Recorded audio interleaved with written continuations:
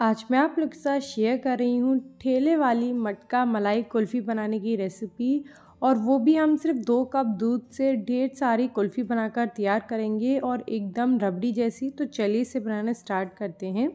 तो सबसे पहले मैंने यहाँ पर एक कढ़ाई ली है और इसमें मैं डाल रही हूँ तीन टेबल स्पून पाउडर शुगर और इसमें एक छोटा चम्मच जो है पानी डाल देंगे।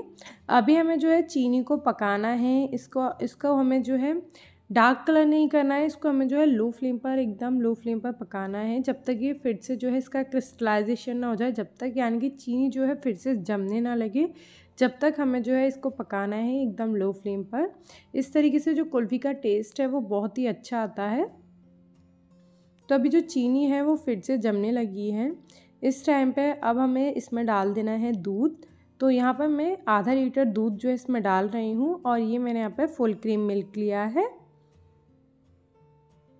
अभी हम जो है दूध को बॉईल होने देंगे। तो दूध को हमें जो है जब तक बॉईल होने देना है, जब तक ये जो है इसकी जो क्वांटिटी है वो थोड़ी सी कम ना हो जाए।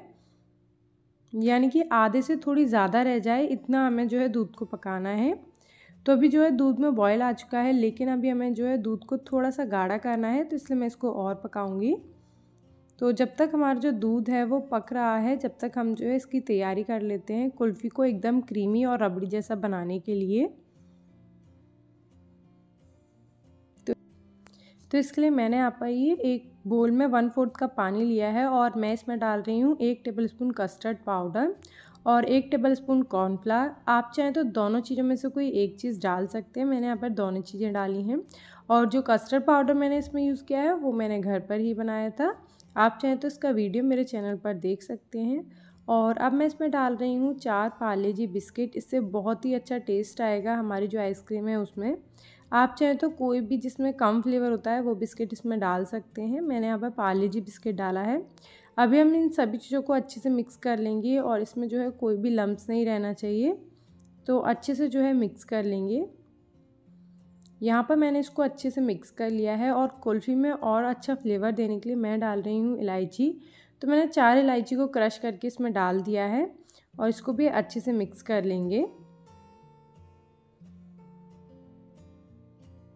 तो जब तक हमने ये सब तैयारियाँ की हैं, हमारा जो दूध है वो अच्छे से बॉईल हो चुका है।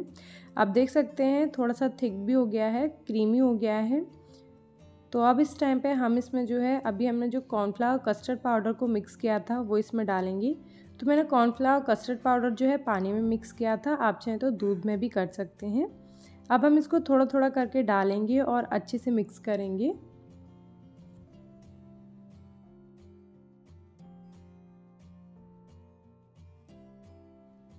तो थोड़ी देर में आप देखेंगे, जो दूध है, वो काफ़ी थिक हो जाएगा, एकदम रबड़ी जैसा।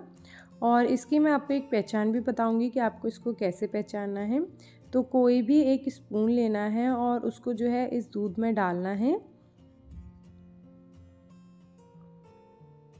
तो अभी जो दूध है वो काफ़ी थिक हो गया है और अब मैं यहाँ पर एक स्पून इसमें डाल रही हूँ।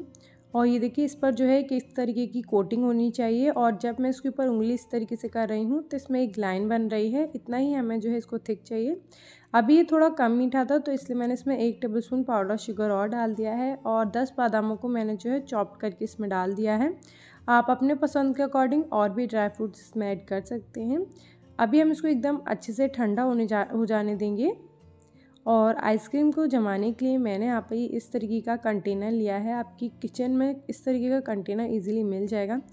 अगर ना मिले तो उसका भी तरीका मैं आपको बताऊँगी। अब मैंने इसमें जो है ये ये जो रबड़ी वाले दूध है वो फिल कर दिया है और इसके ऊपर हम जो है इस तरीके से फॉइल पेपर लगा देंगे और इसको जमने के लिए फ्रीज़र में छोड़ देंगे। छः से सात घंटे के लिए या फिर आप ओवरनाइट छोड़ सकते हैं। अभी मैं तो इसको ओवरनाइट छोड़ रही हूँ। और अगर आपके पास मोल्ड नहीं है और इस तरीके का कंटेनर भी नहीं है तो आप जो है फॉइल पेपर से इजीली बना सकते हैं ये कुल्फ़ी। आप जो है इस तरीके से घर पर जो है इसके लिए मोल्ड्स बना सकते हैं कुल्फ़ी के।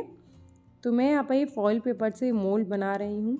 तो यहाँ पर मैंने फॉइल पेपर लिया है और इसको बिल्कुल जैसे मेहंदी की कोन होती है ना, वैसे ही इसको फोल्ड कर देना है। ये देखिए, ये हमारा मोल्ड बनकर तैयार हो जा, हो गया है।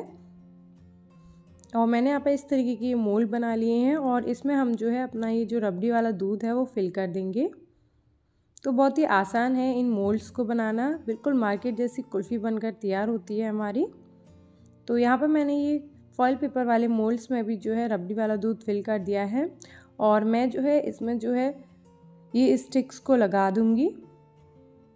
और इनको भी हम जमने के लिए फ्रीज़र में छोड़ देंगे।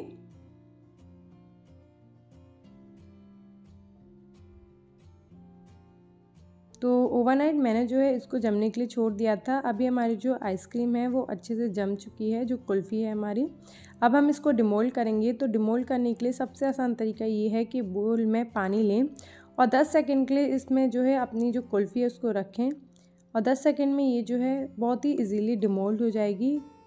जो कुल्फ़ी है वो कंटेनर को छोड़ देगी साइड से। अब हम जो है एक प्लेट में इस तरीके से इसको टैप करेंगे।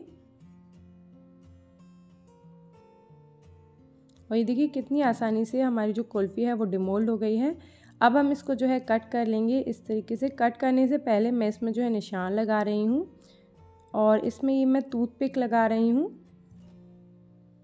तो ये हमारी बिल्कुल ठेले जैसी कुल्फ़ी बनकर तैयार होती है। जैसी आप मार्केट में खाते हैं ना, ठेले वाली कुल्फ़ी वैसी। ही अब हम जो है एक कुल्फ़ी में से इस तरीके से चार पार्ट्स को कट कर लेंगे। और ये हमारी ठेले वाली मटका मलाई कुल्फ़ी बनकर तैयार है। बहुत ज़्यादा टेस्टी बनती है ये एकदम रबड़ी जैसी लगती है खाने में, बहुत ज़्यादा टेस्टी बनती है। अब हम इसको जो है गार्निश कर लेंगे। तो यहाँ पर मैंने एक प्लेट में कुल्फ़ी को रख दिया है और इसमें मैं ये चॉप किए हुए पिस्ता और थोड़ा सा केसर को डाल रही हूँ। और ये फॉइल पेपर वाली कुल्फ़ी भी मैं आपको डिमोल्ड करके दिखाती हूँ। तो ये देखिए कितनी इजीली ये डिमोल्ड हो रही है। और बहुत ही अच्छी कुल्फ़ी हमारी बनकर तैयार हुई है बिल्कुल मार्केट जैसी। तो अगर आपको ये मटका मलाई कुल्फ़ी की वीडियो पसंद आई हो तो प्लीज़ वीडियो को लाइक कीजिएगा और मुझे कमेंट करके ज़रूर बताएँ रेसिपी आपको कैसी लगी। तो चलिए फ्रेंड्स, अब हम मिलते हैं नेक्स्ट वीडियो में।